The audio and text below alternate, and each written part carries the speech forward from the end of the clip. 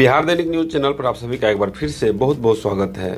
बिहार दैनिक news channel पर आप सभी का एक बार फिर से बहुत बहुत स्वागत है। शिक्षक से जुड़े मुख्य समाचारों में आपका स्वागत है। शिक्षकों को रिज़ल्ट की तिथि से मिलेगा ट्रेंड वेतनमान। जी हाँ दोस्तों, सरकारी स्कूलों में कार्यरत नियोजित शिक्षकों के डीपी प्रशिक्षण के बाद प्रशिक्षण उत्तीर्णता की तिथि से ट्रेंड वेतनमान दिए जाने का हाईकोर्ट ने पत्र जारी कर दिया है, जिसका शिक्षकों ने स्वागत किया।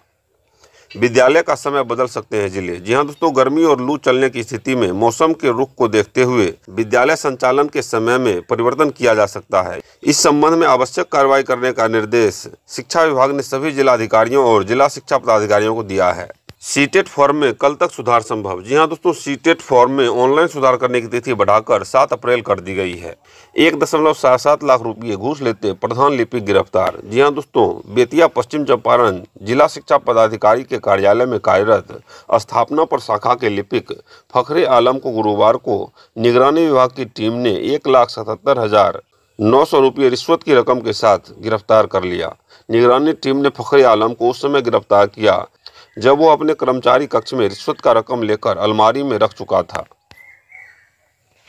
सुबह ग्यारह तीस बजे तक चलेंगे स्कूल। जी हाँ दोस्तों, शिक्षा विभाग ने जिला को निर्देश दिया है कि राज्य के सभी माध्यमिक और उच्च माध्यमिक विद्यालयों का संचालन सुबह साढ़े छह बजे से साढ़े ग्यारह बजे तक होगा। मई के तीसरे सप्ताह तक आ सकता है परीक्षा का परिणाम। जी हाँ दोस्तों, केंद्रीय माध्यमिक शिक्षा बोर्ड सीबीएसई ने कहा है की मई के तीसरे सप्ताह तक दसवीं और बारहवीं की बोर्ड परीक्षा के परिणाम घोषित कर दिए जाएँगे। राज्य में प्रस्वीकृत एवं स्थापना की अनुमति प्राप्त माध्यमिक विद्यालयों के शिक्षक कर्मियों ने गुरुवार को प्रभात फेरियाँ निकाली।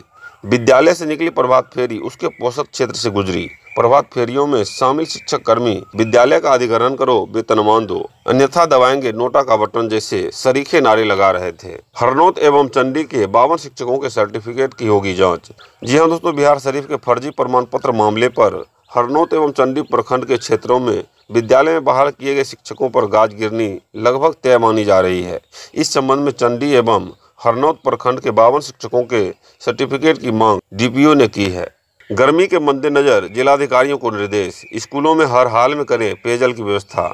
हर वर्ग कक्ष में बिजली पंखे, मिट्टी के घरे में पानी की व्यवस्था हो। जी हाँ दोस्तों, राज्य में पड़ रहे गर्मी के कारण ऐसा निर्देश राज्य के सभी जिलाधिकारियों को दिए गए हैं। तो दोस्तों, आज के शिक्षक संबंधी मुख्य समाचार यहीं पर समाप्त होते हैं। जय हिंद, जय भारत।